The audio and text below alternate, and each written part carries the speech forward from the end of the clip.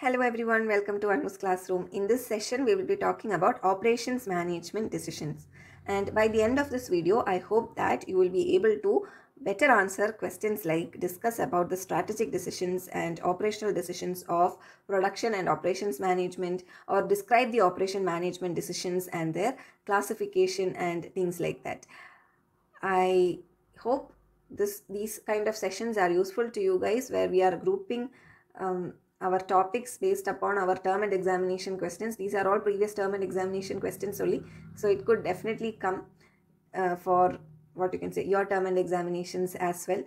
I hope that such a format for uh, grouping our lessons or, or our course is beneficial for you. You're finding it much more comfortable. If you feel so, let me know in the comment section. Let me know your thoughts on how you want your classes to be organized so that I also have a better idea of uh, how you guys need okay and I will try to incorporate those in the upcoming videos. So coming to our topic operations management decision. So operations management we can essentially consider as a process of planning, organizing, directing and control. So management or managers that is us in the future has to take decisions on behalf of the organization in terms of all the managerial functions all these five functions planning, organizing, directing and control even staffing if you are an HR right? So these decisions we can group in or classify in various ways. So first on the basis of say production management you can classify it as periodic okay? That is maybe selection design and updation of the products or processes which happens periodically maybe every year or every 5 years like that. Or it could be a continuous decision okay? Continuous like operating controlling decisions how to uh, setting targets. We set the target like every month cost controlling maintenance inventory control. All these things happen continuously throughout.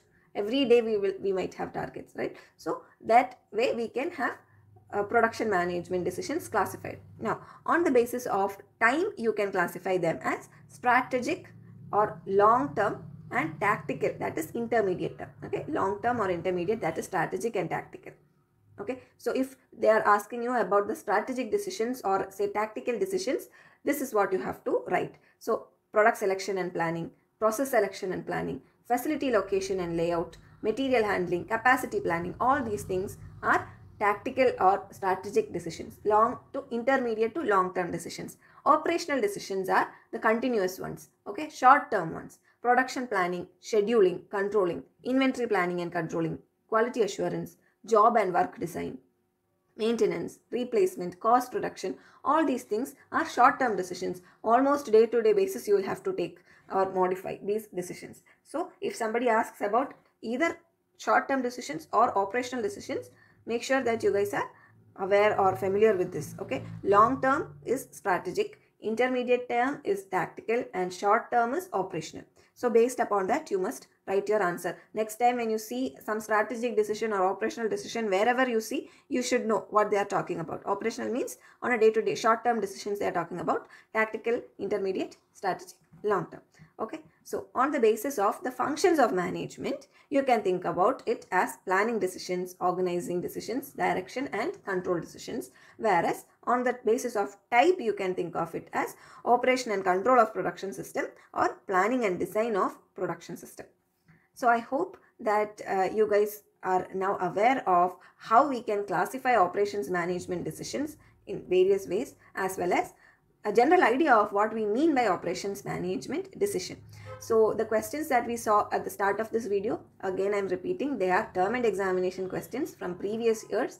There is a chance that one of them might come in your term and examination as well. So if they come, make sure that you are going prepared at least that you have a general idea of what to write okay whenever you get some time think about it at least you know maybe 5 minutes before you go to bed think about at least one such question take it up and try to answer in your mind at least how you will formulate your answer. If it comes for 5 marks if it comes for 10 or 15 marks or even 20 marks how are you going to write formulate depending upon your question paper okay?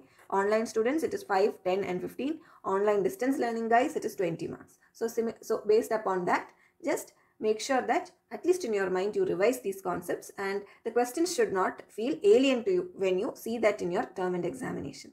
I hope these sessions are useful to you guys in the format that we are following right now.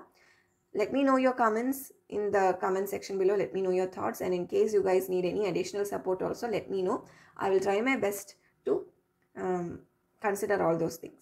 So thank you so much. All the very best for your term and examination. Until I see you in the next session, it's bye for now.